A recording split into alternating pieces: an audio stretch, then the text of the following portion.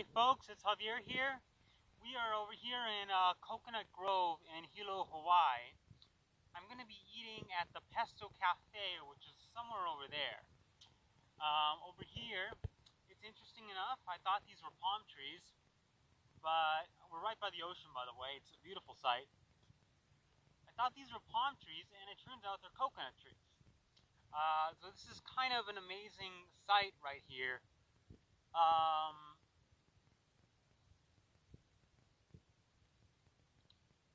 up,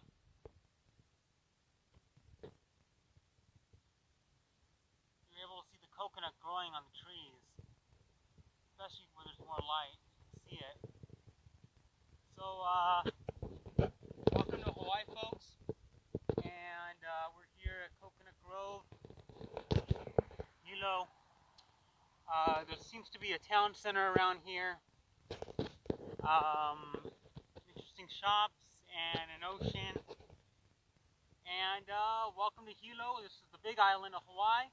Talk to you later. Take care.